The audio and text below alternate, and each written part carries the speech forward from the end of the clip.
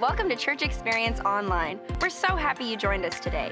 As you watch this teaching video, if you have any questions or need help getting connected, please don't hesitate to reach out by phone or email.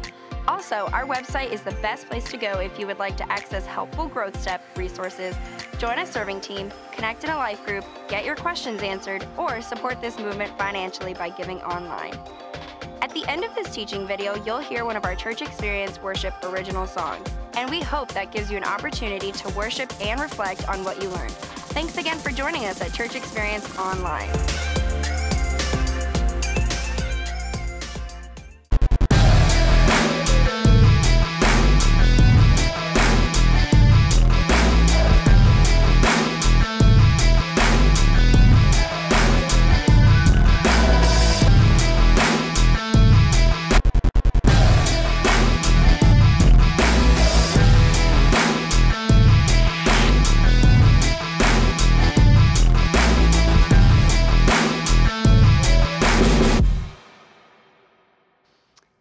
I had a great, great summer when I was 19 years old. I had an opportunity to go out to Southern California, which was my dream. My mom grew up in California, so I was going out there every other year as a kid. And, and to me, it was this idyllic place and just a place where I could surf and enjoy the Southern California lifestyle. And, and I did. I went out there, I loved it. It was my first internship.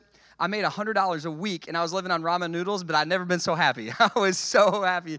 And uh, Jennifer and I started dating that summer. We had a, a great summer. I was eating In N Out Burger all the time. I was riding around with my little uh, Buick with my surfboard on top. And anytime I got a break, I'd go hit the beach, get some waves.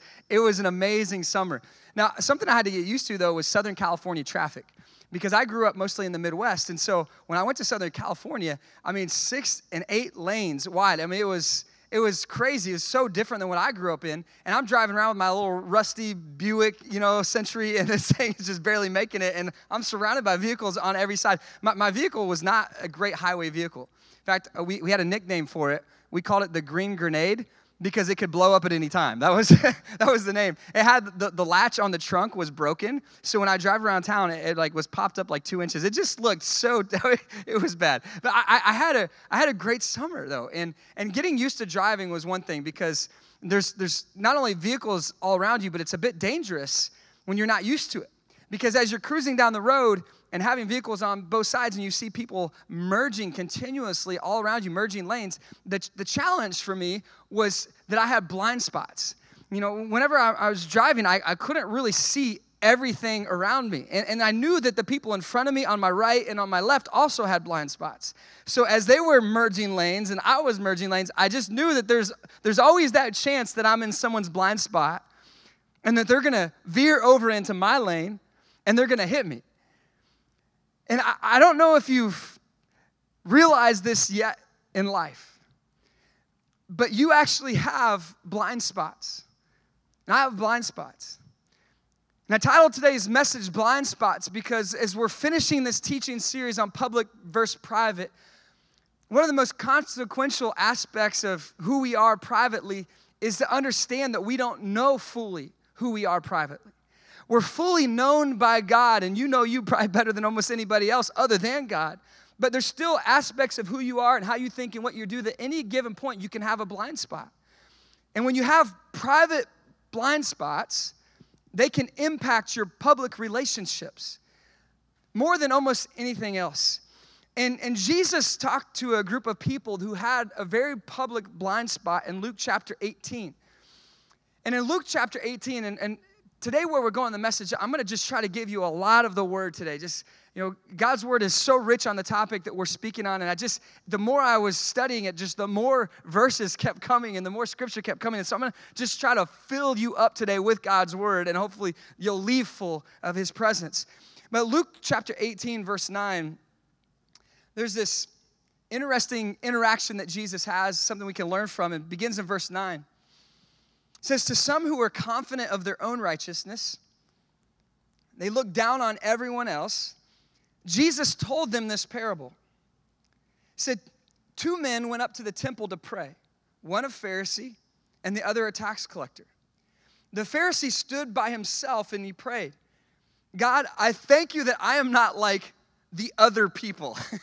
I thank you I'm not like the other people. You know, robbers, evildoers, adulterers, modern day rendition, terrorists, you know, like people that are really bad out there somewhere. Just, I'm not like those other people. Or even like this tax collector.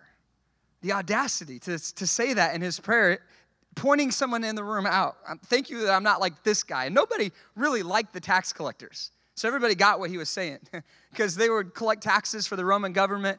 And that's how the, the Roman government would uh, collect their income. But the tax collectors would be able to take a little bit off the top. And sometimes they would uh, make that number pretty significant. And so people didn't like it. They knew that they were crooked, they're, they're cheats, they would, they would take money that didn't belong to them. And, and so this Pharisee, this really religious person, on the outside, on the inside, he's very much a judgmental person. And he's pointing at this other guy. Thank you that I'm not like him. Verse 12 I, I fast twice a week, and I give a tenth of all I get. So, God, publicly, I'm doing all the right things. Verse 13, but the tax collector stood at a distance he would not even look up to heaven, but he beat his breast and he said, God, have mercy on me, a sinner. I tell you that this man, the tax collector, I tell you that this man, rather than the other, went home justified before God. For all those who exalt themselves will be humbled, and those who humble themselves will be exalted. This Pharisee had a, a blind spot you know, he, he seemed to have everything together on the outside, but on the inside, his heart was not honoring to God. See, his public worship exceeded his private worship, not the other way around.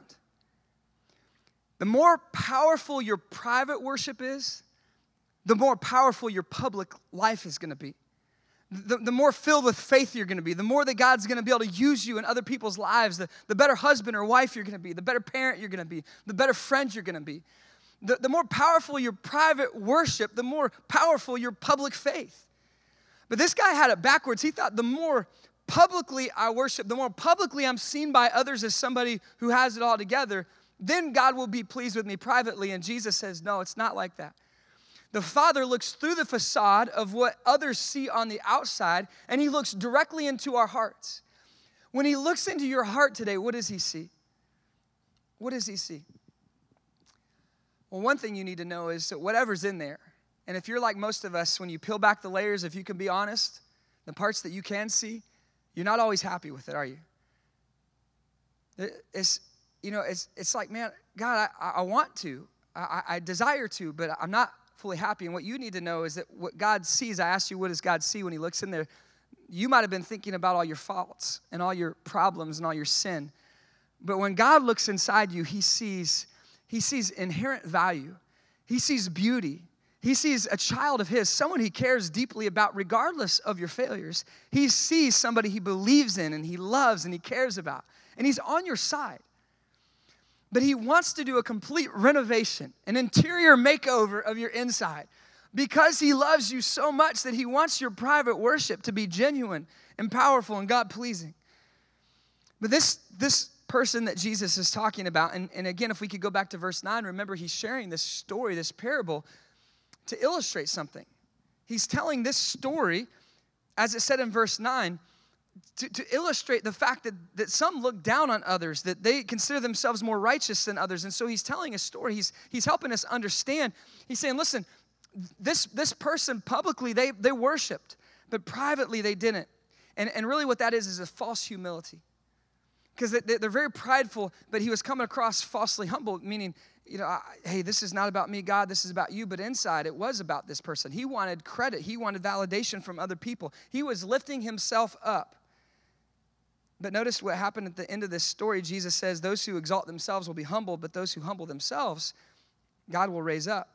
See, when we develop a prideful heart, the problem is that we don't see our blind spots. And I put it this way in your teaching notes. Maybe you want to write this down and think about it this week is that pride blinds me.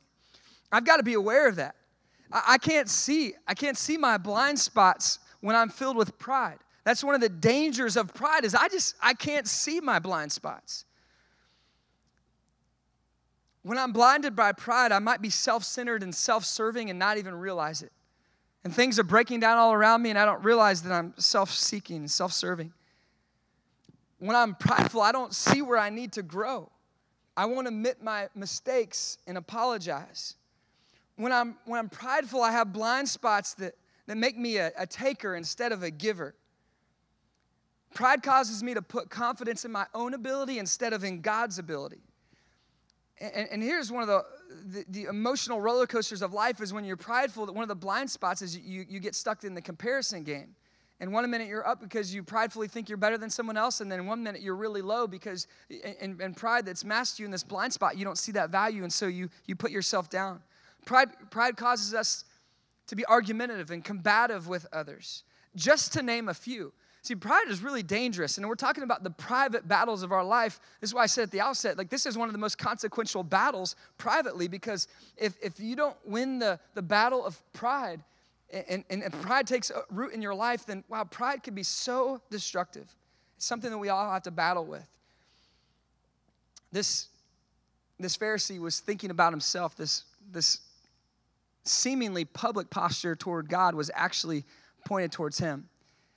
And part of the issue with pride is that it causes us to look at our own, just our own situation. And I, I, don't see your situation, I don't see your needs, or you don't see your spouse's need or your friend's need because you're so focused on self.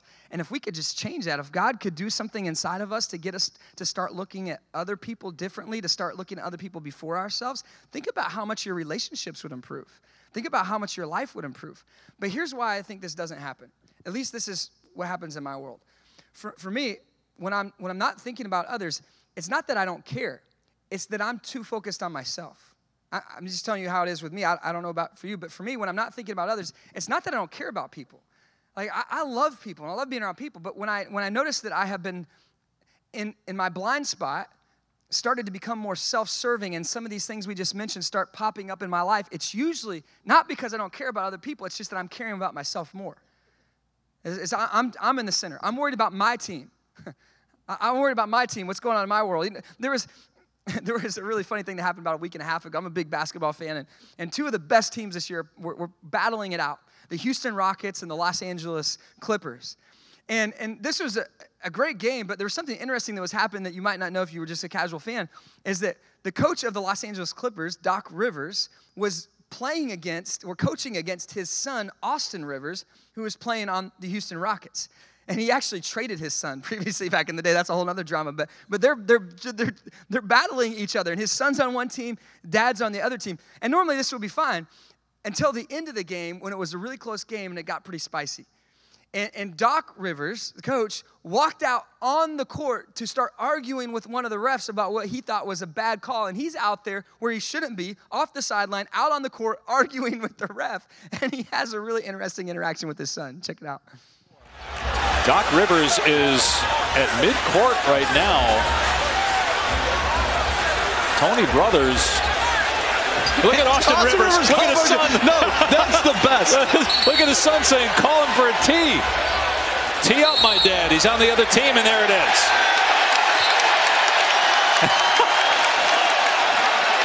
that, that might be SVP's best thing that he's seen all night. Doc's son begging for his dad to get a technical. And now waving for him. you know, they, they, were both so focused on their own team. You know, his family did not matter at this point. They were so focused on their team. But then what's interesting is after the game, like once the dust settles, the game is over, it's been won and lost you think about how you're a part of a bigger team. Wait, we're, we're still part of the same family. So Austin tweets this. I thought it was so, so funny. He says, Well, Thanksgiving's going to be weird. I still got to sit at the same table with this guy. We're, we're actually on the same team. I just forgot about that. And, and you know, for me, sometimes I forget what team I'm on. I, I think I'm on my team. I think I'm living this life for me. It's about me, what I'm going to get out of it, if I'm happy or if I'm not, if I'm winning or if I'm losing. I get so focused on my team and I forget that it's not my team, it's his team. And as a follower of Christ, I'm supposed to be living for him and his agenda and what he cares about. Not what's in it for me, but what's, what's for his glory, not mine. What builds his kingdom, not mine. But I can so easily forget this. How about you? You know, for me, it's it, it's, it's a constant challenge. It's not something at least I have been able to win and then I'm done. And then I just always wake up every day and I, I, I live like Jesus, I think like Jesus, I serve like Jesus. I, everything I do is just flawlessly executed like Jesus. I wish it was that way, but it's not. Every day I have to fight the battle to say, you know what? It's not about my team, it's about your team. God, I want to live for you and not for me. And when we privately get hyper focused on our own team, when we privately get focused on our own life, our own career, our own goals, our own money, our own situation, our own wants, our own desires, we forget that we're part of a bigger family. And we need to practice getting our eyes off our own game, so to speak, and step into another player's shoes. How different would your relationship be if you could start walking in their shoes? I know you're feeling a ton of pressure with your work, but if you could just get in the shoes of your kids and the game that they're running, need you. That, that person around you, that, I mean, what if we could stop focusing on our own team and realize we're part of a bigger family? And I really think this is what great classic Christian author C.S. Lewis was talking about when he defined what humility is, which is the opposite of pride. And, and he said, humility is not thinking less of yourself. So we have this idea that I just walk around my head hanging low, like I'm nobody, I don't deserve anything, I'm a horrible person. That's not humility. He says humility is not thinking less of yourself, it's thinking of yourself less often. So I'm not just focused on my own team. I'm not just focused about what's in it for me. I'm not just focused on whether I'm winning or losing. I'm saying, how can I help others win around me? How can I help God's team, His kingdom win? That's what I want to be about. So how do we, how do we do that? Well, one of the ways that I think God, one of the tools God's given us is to live generously live generously with our time, our energy, our resources, always looking out with our antenna up like, who around me is in need? Who needs my help? Who needs my time? And, and just, I think the act of generosity, when, I, when, I, when I'm serving somebody, this is why I think serving is so powerful. We often say around here, if you're not serving, you're probably swerving spiritually. Because if you're not serving others, that means there's only one other option you're serving yourself. And so by serving and giving and living generously, it, it kills that, that greed inside of me of wanting more for me. It's all about me. Generosity is a gift. In fact, I have this theory that I think that the reason why God gave us giving, why He gave us this gift, is actually a gift to the giver. It's not like when God tells us to give of our time, our energy, our money. It's not that like He's He's up in heaven, like, oh, I need this. You, I hope you will come through for me. Like if he wants it, he can take it. It's all his. You know, it's, it's not like he's so up there like dependent on us in that sense. Like he he wants to give us a gift because when you're generous to others and when you give, it, it does something inside of you. It rearranges the order of your heart. And it's not like the goodwill store. God's not like the goodwill where you you you give the things that you don't really want anymore. Some of us treat God that way. It might be with our time or our, our money, it might be with our energy. We give our first and our very best to all of our pursuits, our team, what's going on in our world. And then we have a little left over and we say, Well, God, it's like the goodwill. I don't need this anymore. I got a little extra. Here you go. I kind of feel good that I gave, so this is gonna help somebody. I feel I just drop it off right here. I feel good. It's fine, and that's great. And God's happy that you're taking a step, but God is not the goodwill store. He wants your first and your best, not your last, not your leftovers. And he's deserving of it. But the amazing thing is, is that's a gift for you. When you give God your first of whatever it is in your life, you're, you're saying something. You're saying something to yourself and to the world around you. You're saying, I'm not first. I'm not first. He's first. And when I put God first in any area of my life, I'm making a statement. To the devil, I'm saying, I'm not gonna let you win the game in here privately. I'm not gonna think, I'm not gonna be fooled in a blind spot to think that I'm first, because I'm not first. One day, every knee will bow, every tongue will confess, and we'll all realize collectively we're not first. We've been living like we're first. He's first. You're God. I'm not. And so when I, when I give God my first, instead of my leftovers, I'm saying, God, you're on the throne. It's not about me. I have want, want, want, want, want. That's never going to end. But God, what I really want in my soul more than anything is I want you. And if I can live that way, that's going to change the whole paradigm of how I think, how I interact with other people. Know, we're talking about giving just, just real briefly. Uh, we announced something last week that we've never done before. Uh, we announced that we opened a compassion fund. And between now and Giving Tuesday, which is the Tuesday after Black Friday, the Tuesday after Cyber Monday, it's a new thing. It's kind of gaining traction in our culture is Giving Tuesday. And between now and Giving Tuesday, we as a church, we're asking people to sacrificially give above and beyond their regular giving a gift to this compassion fund, and 100% of that's going to go to help people in need. Um, we, we, have been doing a lot of these things, and we'd love to do more of it, and that's just really what we can do is depending on what we as a church give. But we have been giving uh, scholarships for Christian counseling to people who can't afford it, and we love doing that. People can't afford it. We say, well, we don't want that to stop you. Uh, we want to help give you a scholarship for your first four sessions. We'd love to help people who are in our own church body who are in financial crisis maybe they've lost a job or single mom that's going through a hard time and i'm going to lose my place what can i do? Like you can turn to their church like we can help with those kinds of things and we've done a lot of that. Um, there's an opportunity for us to do things like serve our cities which we did in september and we went down to rural recovery and we served and we had an army of us unleashing compassion and we bought some things and renovated some things and, and the funds for all of that is going to come out of that because we'd like to do more of that. We'd like to get out more in the community do more outreach help more people. And so if between now and Tuesday you give, Giving Tuesday, you give and you mark it online, there's a compassion fund, or you on your envelope you say compassion fund. I want to encourage you to give above and beyond to help somebody else to get your eyes off of self. I'm sure you have a long list of things that you'd love to spend a little extra on. We all do. But the needs will never be met if all of us are so focused on our own team that we forget God's team, God's picture. James chapter 4, verse 10. It says, Humble yourselves before the Lord and he will lift you up. Humble yourselves before the Lord, and he will lift you up. You know what I think is interesting about this first part of it is it says that, that we're to do the work of humbling. You know, God, God can humble you, and he might need to.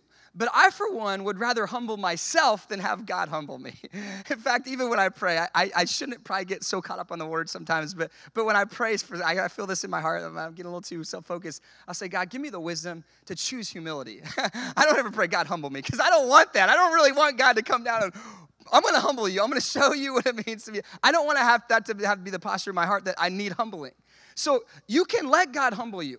You can let God do his work and humble you if it becomes all about you, but I for one would rather do the work of it as it says in James 4:10, humble yourselves. God can humble you, but you're supposed to humble yourself. You're supposed to live with the posture of humility. I want to humble myself. I want to humble myself. Humble yourself. Do the work of humbling yourself before the Lord. It's not about me, God. It's about you. It's about others. And when you do that, God will lift you up. It's something that we privately work at, humbling ourselves. And in your teaching notes, here's the amazing thing what happens humility opens my eyes to private blind spots. When I can cultivate a heart of humility, the cool thing that happens is that, that I can start to see some of those blind spots. Maybe not all of them, and I think that's why we need community with others, but, but I can start to see some of the blind spots if I'll humble myself, which is really hard to do. But if I can do that, then wow, then I can start to see some things. I can accept some critique and some criticism. I can accept God's discipline. I can accept the areas I need to grow in. But pride, it, it displeases God and it destroys me privately. But what humility does, look at what humility does. Proverbs 3:34. God mocks proud mockers, but he shows favor. Everybody say favor. Come on, isn't that what we want? We want God's favor in our life. It shows favor to the humble and the oppressed. Humility brings the favor of God. and I just I just started looking through scripture. And there's so many examples of how God uses the humble in heart. About those who humble themselves, he lifts them up and uses them, not for their glory, but for his. It's amazing. I mean, if you were to study scripture with the eye of humility, like who had a humble heart and how did they what Proverbs 3:34 says, how did they find the favor of God? Let me just give you a few for examples.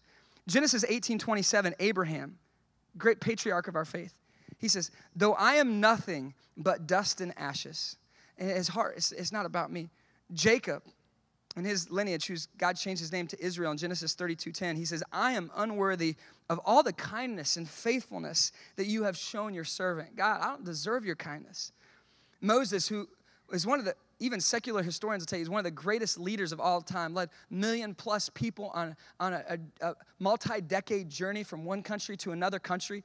I mean, sometimes it's a challenge for me to get all six people in my family from one state to another with all the luggage. And, I, and he had a million, a great leader, and look at his heart. But Moses said to God, Who am I that I should go to Pharaoh and bring the Israelites out of Egypt? Who am I?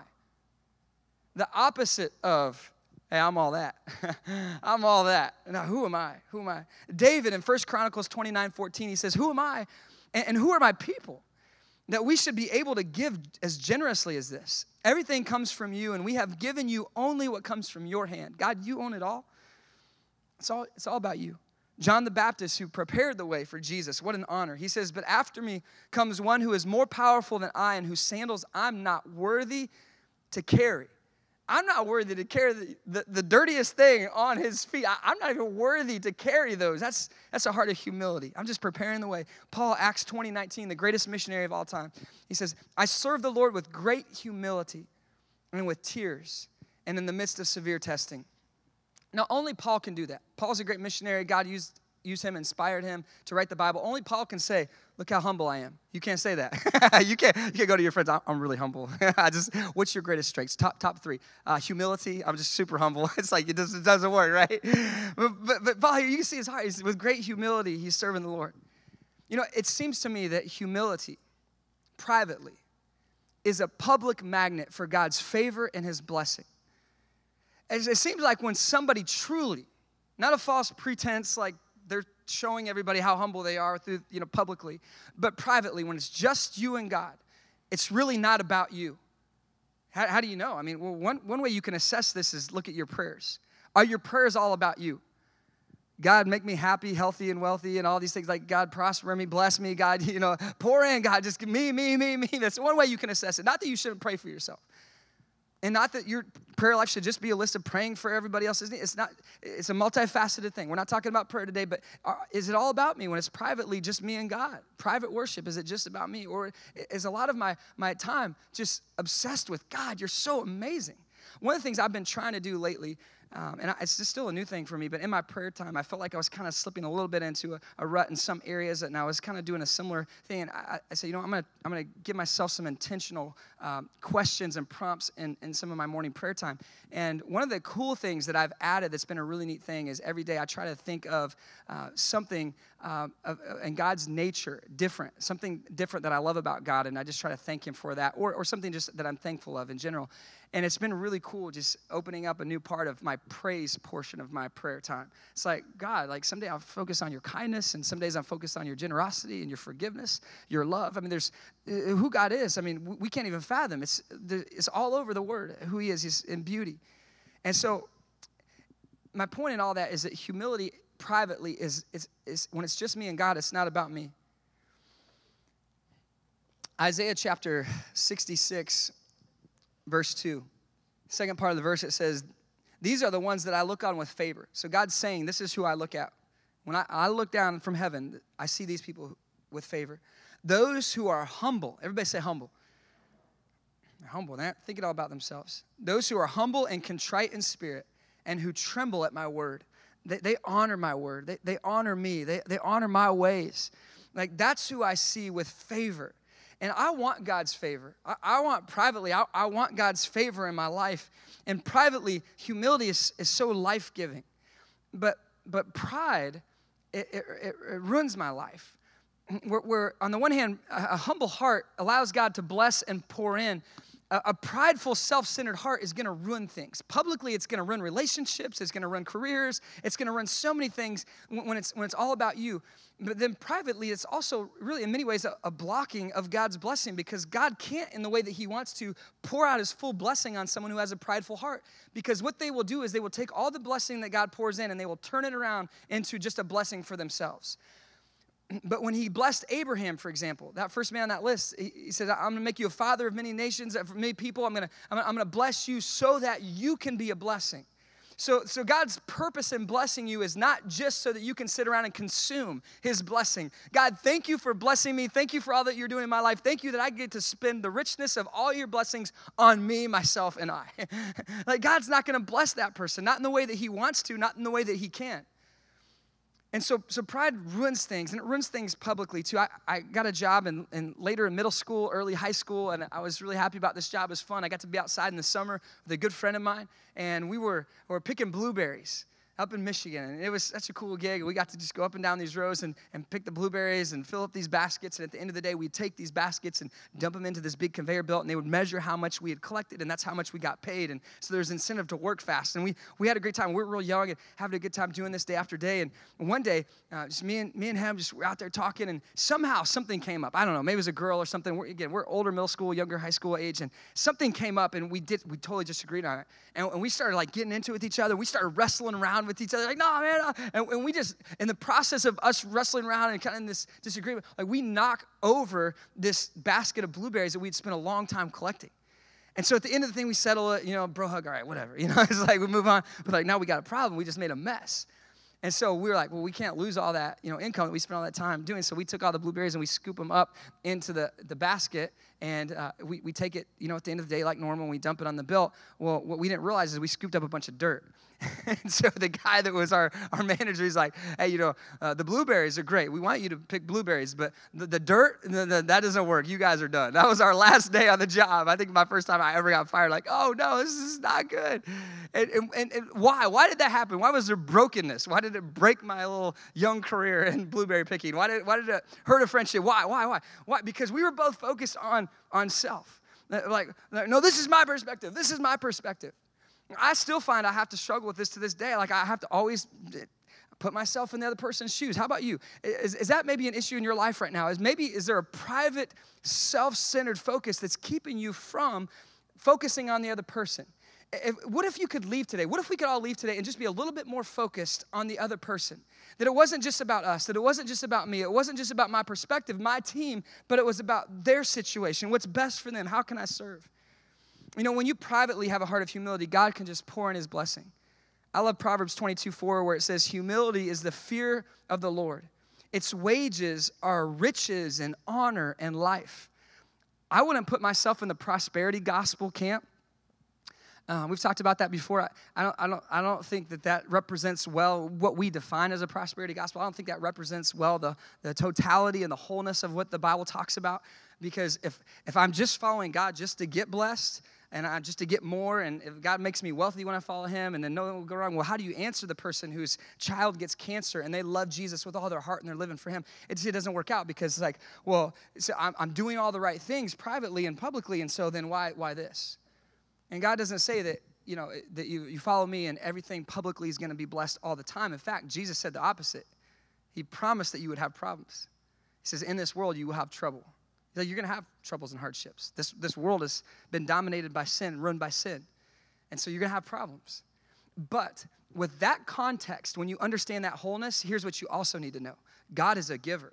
God is a blesser, and God does bless those who honor Him. And those who have humble hearts, God loves to pour in, just like you would with a child. I mean, don't you love to give? You know that's not, you would run your kid if you gave them everything they want every time they ask. I mean, you'd be turned into a vending machine. Hey, hey, dad, I want this. Hey, mom, I want this. You would run your kid every time you walk through the store. I mean, you come, sometimes see this in public, don't you? The kids breaking down, I want this. And they just scream loud enough, and all right, just take this and be quiet. It's like you run a kid if you spoil them and give them everything that they want. And God knows that. He's not going to do that to you either. But here's the amazing thing He's a father that loves to give good gifts. And just like you love to give gifts to your kids, He loves to bless His kids. He loves to pour in abundance. He loves, he loves to smile on your life and give you increase and blessing. And it says here, those who in humility have the fear of the Lord, the wages of that, the result of that in general are riches and honor and life. I mean, you'll probably live longer if you follow God than if you're self centered because you're going to live in self destructive ways instead of healthy, God honoring ways. I mean, we could go on and on not the point of this message, but, but God blesses a humble heart. That's what we need to know. Because you can learn more when you have a humble heart. God can bless you when you have a humble heart because it's not about you. You can spot selfish, sinful, prideful, foolish decisions before they happen when you have a humble heart. You can help other people because it's not just about you. I was being mentored uh, just recently. I had an opportunity to go for some great pastors and mentors uh, a couple weeks ago, and one of the guys that was there was referencing a quote by Bob Buford, and he said uh, something I just, I think I'm always going to remember this. He said, My fruit grows on other people's trees. How good is that? Humility allows you to think like that. It's not about me. Something else he said that blew me away He says, you know, we're, we're the platform, not the show. Some of you think you're the show. But, but what if you could live as a platform and say, I just want to raise others. I want to give others opportunity. I, I want God to work through my, I want my fruit to grow on other people's trees, some that I may never see. See, here it is in your teaching notes. Private humility precedes public change and growth. Now, I want to see change and blessing and growth in my life. Well, it's preceded by a private humility, a genuine private humility. And really, if we get to the core of this, if I, if I want God to, to change my heart, or maybe I'm seeking God and I haven't really bowed my knee to Him yet, if, if I really want the transformation to come, if I want Jesus to do something in my life, I have to have a humble heart for God to really do what He wants to do. Look at this verse with me, uh, Second Chronicles seven fourteen. I just love this. Uh, God says, if, if my people who are called by my name, well, what? Come on, well, what? Humble. They'll humble themselves. If, if, if they'll do this, if they'll humble themselves and pray and seek my face and turn from their wicked ways, then, so he says an if then statement, if they'll do this, then here's what I will do. Then I will hear from heaven and I will forgive their sin and I will heal their land. See, God's saying, if you do this, then here's what I'm gonna do. It's an if then. If you'll humble yourself, if you'll pray, if you'll seek God's face. But, but to do all those things, what did it say first? If, if I humble myself, because can I really can I really pray in the way that I need to pray? Can I really seek God and turn from my sin if I don't have humility? Humility is saying it's this posture of, understanding, man, my, my sins will ruin me. My sins are self-centered. They're about me. God, in humility, I confess my sin. See, humility is required for really for true, genuine confession.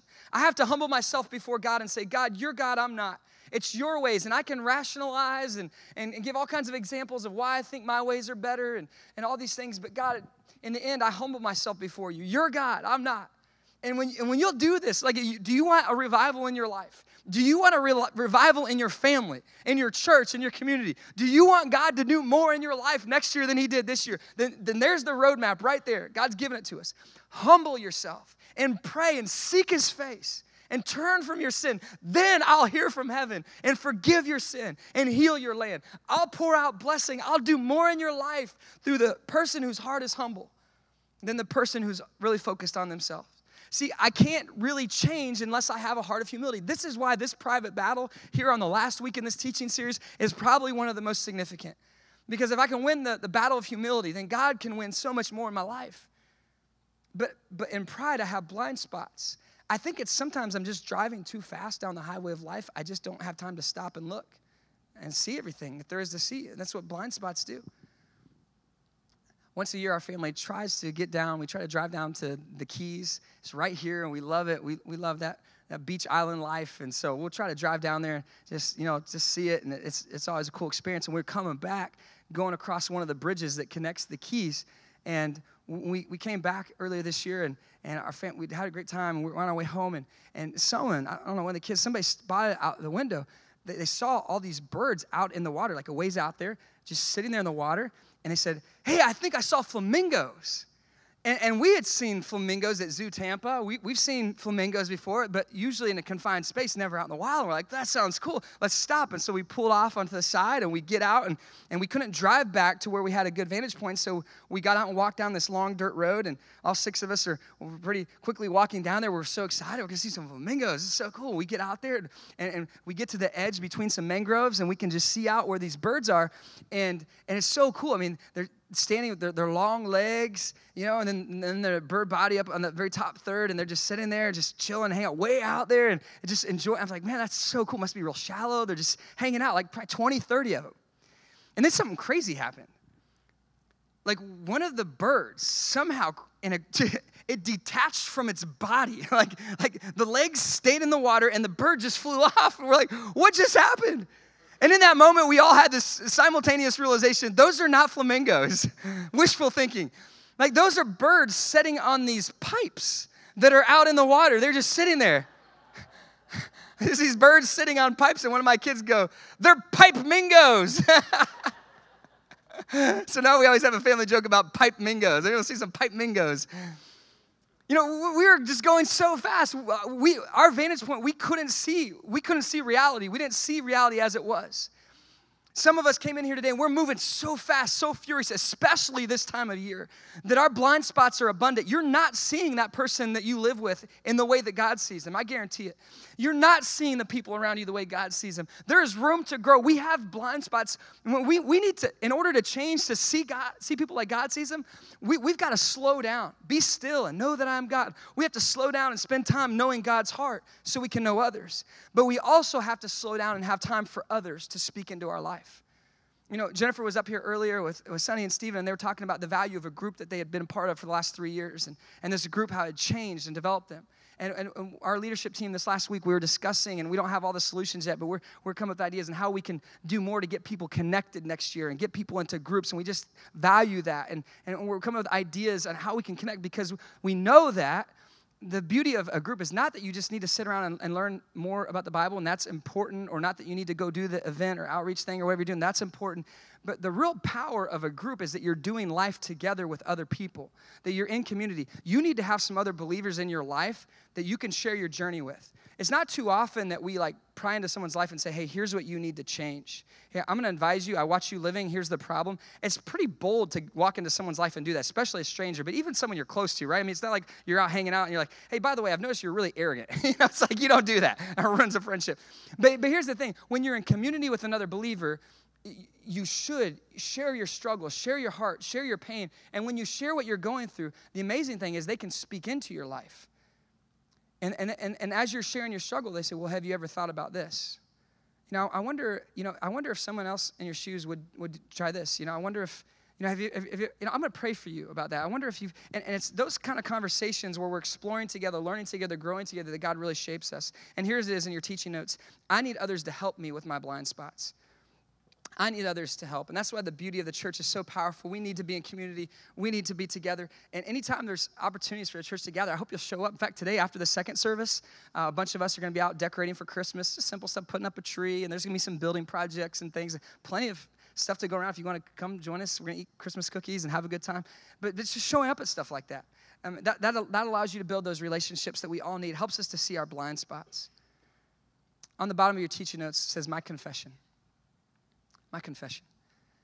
I want to leave here without giving you an opportunity to respond to this message because I think that all of us have an awareness, and I hope that you do, that, that privately we're prone to blind spots and we're prone to look at things from our own perspective instead of someone else's. And the Bible tells us if we want to change that, if we want to change, if we want God's blessing in our life, Second Chronicles tells us we have to humble ourselves and pray and seek God's face. So, what, what we have to confess our sins. We have to turn from our sin. What is it in your life that you need to bring before God and say, God, I have been way too, you fill in the blank. God, I've been thinking more like this, less like this. God, it really has, it's been about my team. God, it needs to be about your team, privately, privately. What is your confession? Maybe you just want to write that in right now. Maybe this would be a good thing to take into your prayer time on Monday morning. Maybe tonight before you go to bed, get, get alone, get quiet. God, where, where can I where can I become more like you? I, I don't want to live about me. I want to live about you and other people. What's your confession? My hope is that you'll find some area in your life that you can turn over to God. And then the fruit of this conversation today is that privately, you'll start worshiping bigger. And that unlike this guy that we started with, who publicly worshiped really big, but then privately, his, his, his prayer life, his seeking God was very minimal. My hope is that God will flip that and that, that, privately you have powerful worship. And the more powerful your private worship is, the more powerful your public faith will be, and the more powerful things that God can do through you publicly because privately you are honoring Jesus. Right on? Thanks for joining us at Church Experience Online. Please don't forget to check out the website if you'd like to get more connected, learn more, get your questions answered, or support this movement financially. You're now going to hear a Church Experience Worship original song, and we hope this gives you an opportunity to worship and reflect on what you learned today.